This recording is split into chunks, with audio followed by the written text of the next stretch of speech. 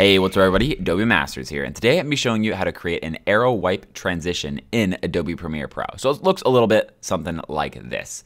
All you have is just the arrow that you can control and bring from really any angle to create the transition. So in this situation, I created one that goes left to right, and then a second one that goes bottom to top.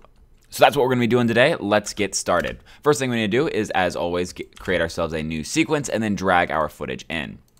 So I have three clips right here that I'll drag in uh, right onto here. And you'll see that they're pretty long. So what I'm going to do is just find two seconds of them that I like. I like the beginning of this one because of the sun. So we'll move to about two seconds on this one. Cut it out. Same over here.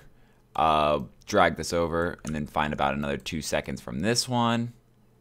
So maybe like in the daytime. Let's try the daytime this time. And then we'll go one, two, right around there maybe a little longer. And then finally the last one right here. And then so we just find what we want right here. This is fine. And cut this down to an area about two seconds, right like that. And so there we have it. Now we have our footage ready to go. So the next thing we're gonna do is we want to actually start layering these on top of each other. I'm gonna hit clear in and out to remove that. So we wanna bring this one up to the very top, our first one. And then the second one will go into the second um, second column right here, or the second track right here.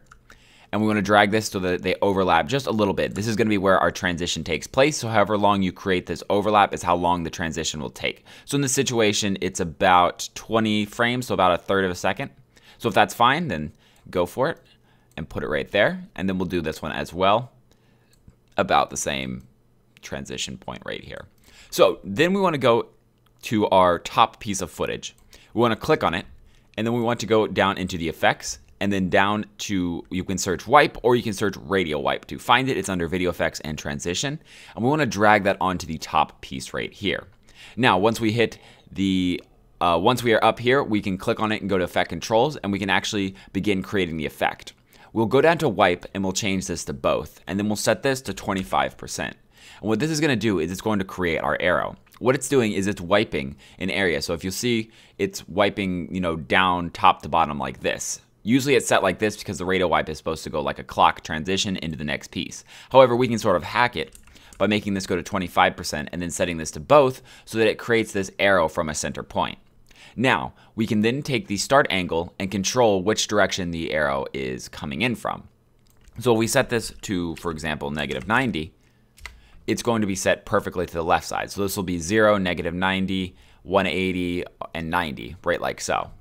And so now that we have this control, we can then take the wipe center and we can move it up or down, or in this situation, what we want to do is move it left to right.